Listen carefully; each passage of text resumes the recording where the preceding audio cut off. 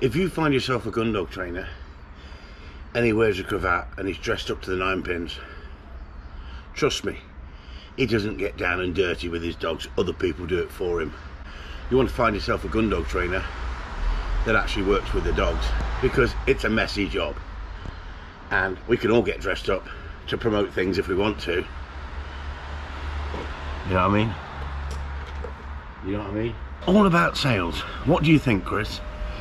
Well, I think that what you've got to do, you've got to get a film crew to follow you around and you've got to gloss over the videos and uh, pretend that you don't live in the same world as everybody else.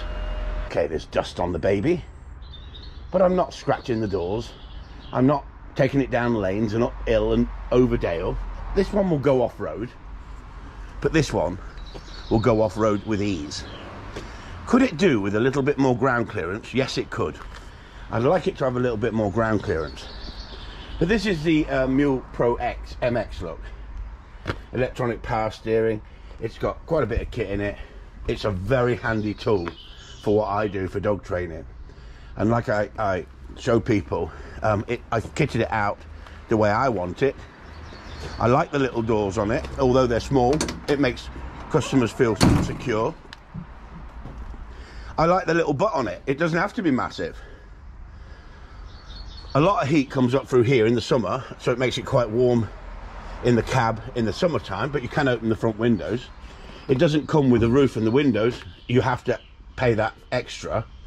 And there's other things you can put on. You can put a winch on you can put a number of other things. Like I say I've had it a year now and I've done the full mileage it now needs a service. It now needs a service. And the service is a hundred quid for for your service so in here, we've had this box specially made. As you can see, it was lovely and clean and special. I could polish everything and pose. I could go around posing. As you know, I can pose. Um, but at the end of the day, we keep our gun, gun dog gear in here. So when I take a customer down the road, we've got all the kit with us in the mule. And the reason we've had to take a different direction is because people know who've been watching me for a while that they are building houses in the field.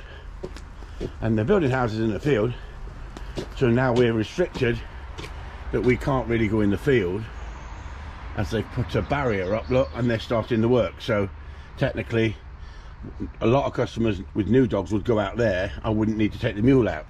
So the mule goes out so much more now. But why have I gone from a big 4x4 over to the Volvo. Well I can the 4x4 can only get so many dogs in there. This can get as many dogs in there.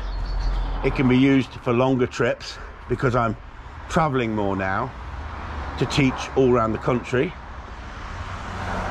Chris Upton is coming to you. Now you don't want him looking scruffy do you? You would like him looking reasonably smart. So, so what's my opinion about the Green Hornet?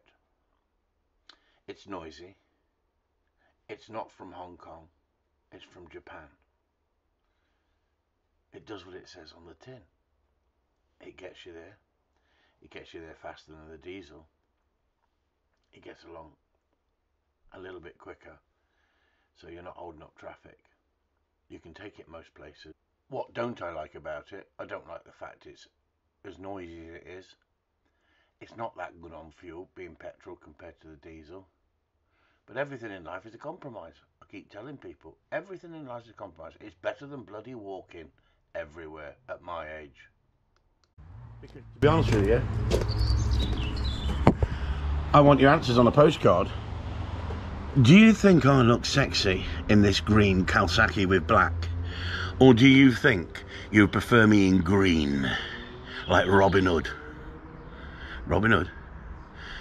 No, but he only robbed from the rich, didn't he? He didn't rob from the poor. What a load of shite that was. He robbed from anyone, wouldn't he? From Nottingham, wouldn't he? From Nottingham. Well, Piero know that.